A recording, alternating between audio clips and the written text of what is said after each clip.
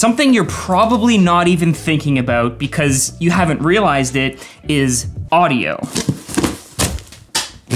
But audio plays a huge part in your content. Ideally, you don't want people to be aware of your bad audio. But if your audio sounds echoey or reverby or you're too far away from the microphone, then it's not gonna sound good. Thankfully, there are a lot of different audio options, and some of them are really affordable. Now, these mics are shotgun mics, and they're what I'd recommend to the majority of people because you can put them you can take them and put them on the top of your camera. And so now, whether you're out, oh my gosh. and so now, whether you're out vlogging or you have your camera set up on a tripod, you have one mic that will pretty much work in 99% of scenarios.